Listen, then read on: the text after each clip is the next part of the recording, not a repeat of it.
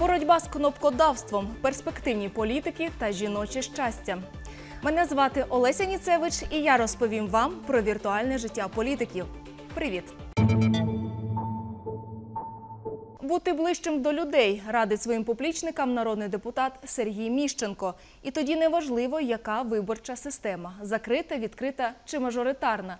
Депутат має їздити до своїх виборців, бути взаємним у спілкуванні та реагувати на їхні прохання чи проблеми, аби люди принаймні знали свого народного депутата в обличчя. Ні, кнопкодавству. Сергій Алєксєєв написав, що відтепер у Верховній Раді діють нові правила. Картки для голосування народним депутатам видають особисто в руки співробітники апарату парламенту. Мовляв, це унеможливить кнопкодавство.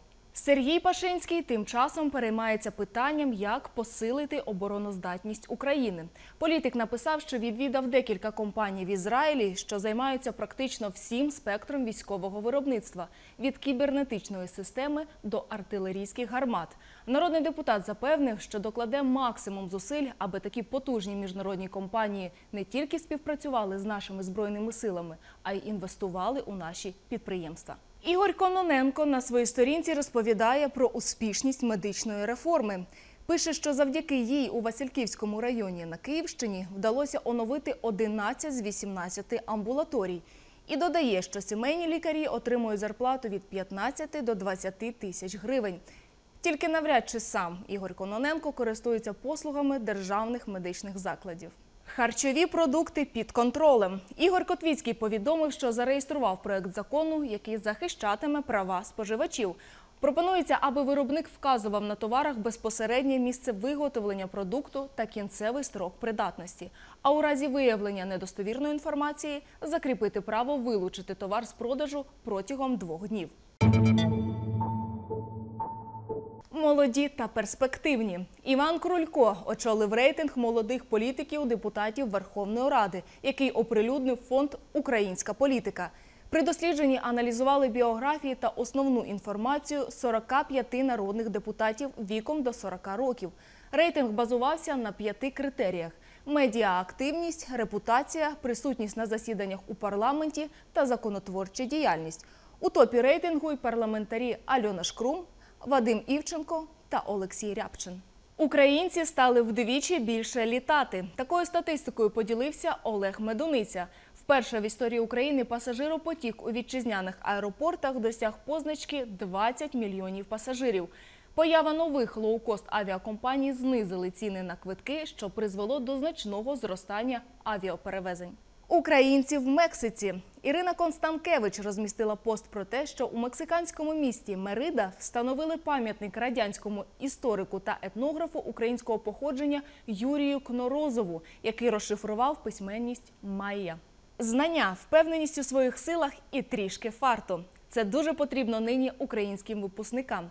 Парламентар Олександр Кодола побажав успіхів майбутнім абітурієнтам, які розпочали складати ЗНО. Зовнішнє незалежне оцінювання триватиме в державі до 14 червня. Перевірити свої знання зареєструвалися рекордна кількість українців понад 350 тисяч осіб.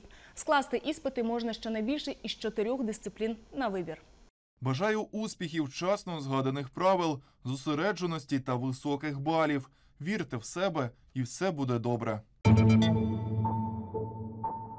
Істинного жіночого щастя без чоловіків не буває, переконана Ірина Сисоєнко. Однак не всі жінки поділяють таку думку. Політик розповіла, що висловила своє бачення на одному з ефірів. І ведуча просто оскаженіла після цього і, за словами Ірини Сисоєнко, навіть почала кидатися на неї. Можливо, моє світосприйняття вже не є сучасним, але я переконана у тому, що в житті кожної жінки важливе місце посідає чоловік, як батько, як чоловік у шлюбі, як брат, як син. Корельйони на Аскольдовій могилі освятила парафія церкви святого Миколая Мир Лікійського. Радіє у соцмережі народний депутат Оксана Білозір. Вона поділилася фото біля нової дзвіниці. Та сподіваються, що ці звуки з дніпровських круч наповнять силою Святого Духа серця українців і відкриють душі для милосердя та любові. А у часи небезпеки, як багато століть поспіль, спонукатимуть народ боронити свій край з іменем Господнім на вустах. На цьому все. Любіть себе, цінуйте життя та Україну. З вами, як завжди, Олеся Ніцевич.